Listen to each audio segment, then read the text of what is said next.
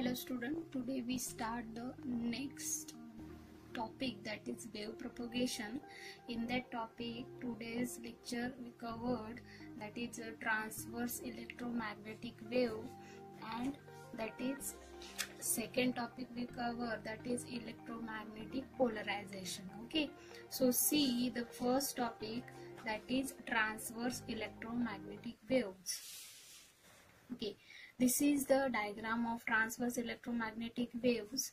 In the in this diagram we see that there is a three axis that is y axis it is the magnetic field x axis is the electric field and in the middle it is the z axis that is will indicate the direction of travel. Okay? So see the point one by one that is the first point is that the process of a signal travel from transmitter to receiver can be divided into two part okay okay? कि signal जो है travel होता है transmitter to receiver उसमें दो type होते हैं। First it is the radiation of the signal and second it is the propagation ठीक है? ये भी डिटेल में देखने वाले हैं हम लोग रेडिएशन और प्रोपेगेशन जो है नेक्स्ट फ्यू लेक्चर में देखेंगे। पहले ये जो है टॉपिक ये कवर कर लेंगे। तो ये जो टाइप सेट दो पार्ट्स है, वो किसके पार्ट्स है? The process of signal signal जब ट्रांसमिट होता है ट्रांसमीटर टू रिसीवर तो वो दो पार्ट्स में क्या होता है? डिवाइड होता है. Radiation of the signal and propagation okay इसमें ही सेकेंड जो है नेक्स्ट पॉइंट देखेंगे इसमें ही के जो सेकेंड पॉइंट है, देखो the electromagnetic waves are oscillation which propagate to free space They travel to the free space through the speed of light. These waves are no, known as electromagnetic waves अभी electromagnetic waves किसको बोलते हैं? ये बताया है कि electromagnetic waves are oscillation oscillation means जो sine wave होते हैं ठीक है? उसके हम लोग क्या बोलते हैं? ऑसिलेशन में क्या होती है? ट्रेवल होती है which propagate to free space free space में क्या होता है? उसका प्रोपोगेशन होता है। Okay okay? प्रोपोगेशन मीन्स हम लोग बोलते हैं कि जैसे स्प्रेडिंग होता है, ठीक है? They travel to free space through the speed of light अभी स्पीड ऑफ़ लाइट जो है, वो क्या रहती है? Three into ten raise to eight तो स्पीड ऑफ़ लाइट से वो क्या होता है? प्रोपोगेट होता है फ्री स्पेस में। वो वेव को हम क्या बोलते हैं? It is electromagnetic wave, okay? Because the electric and magnetic field are simultaneously present. जैसे कि हम लोग ने डायग्राम में देखा है, वो किसके वजह से होता है? बिकॉज़ इलेक्ट्रिक और मैग्नेटिक फ़ील्ड जो है, वो साइमल्टेनियसली इसमें प्रेजेंट होती है इलेक्ट्रोमैग्नेटिक वेव्स में।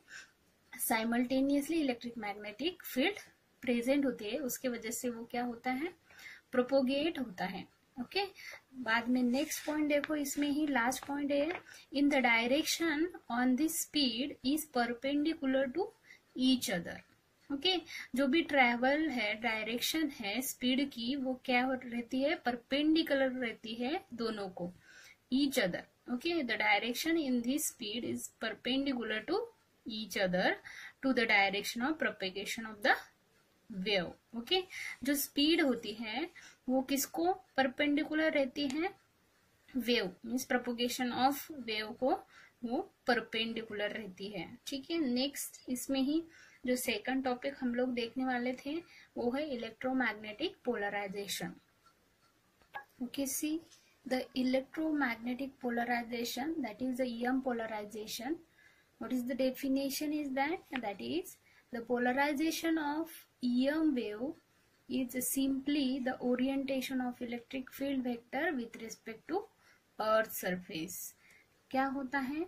इसमें EM पोलराइजेशन क्या होता है? That is orientation of electric field means इसमें सिर्फ़ इलेक्ट्रिक फ़ील्ड वेक्टर का क्या होता है? स्प्रेडिंग होता है ओरिएंटेशन होता है with respect to the surface okay next जो है, इसमें देखेंगे types of polarization okay so see see the types of polarization in that there are four types of polarization firstly we see the horizontal polarization definition is that if the electric field propagates parallel with earth surface then the em wave is said to be horizontally polarized ठीक है अगर electric field जो है वो parallelly propagates होती है with earth surface से तो हम लोग उसको क्या बोलते हैं दैट इज़ हॉरिजॉन्टल पोलराइज उसका ही अपोजिट है that is the vertically polarize तो if the electric field propagates perpendicularly यहाँ पे क्या था?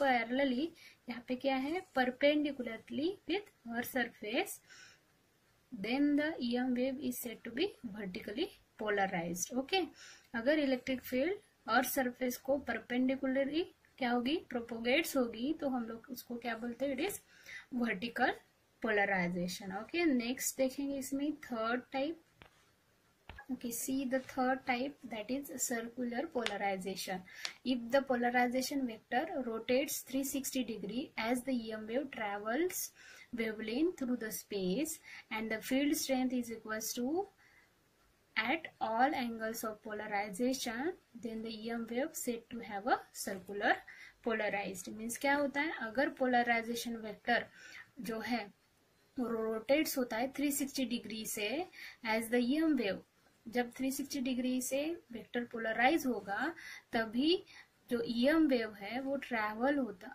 होता है किससे? थ्रू स्पेस से, ठीक है? और the field strength is equal to the angle of polarization उसी समय अगर फ़ील्ड स्ट्रेंथ जो है इक्वल टू रहेगी एंगल ऑफ़ पोलराइजेशन से तो उसको ही हम लोग क्या बोलते हैं? सर्कुलर पोलराइज तभी वो ईएम वेव कैसी पोलराइज होगी?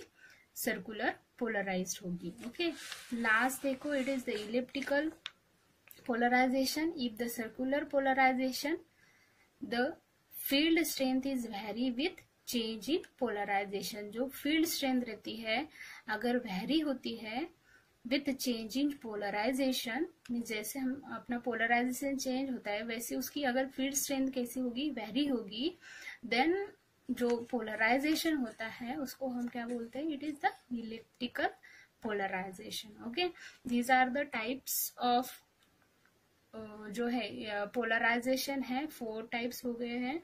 और आज का जो टॉपिक है अपना, वो एंड हो चुका है। जो नेक्स्ट लेक्चर में हम लोग देखेंगे वो नेक्स्ट टॉपिक देखेंगे।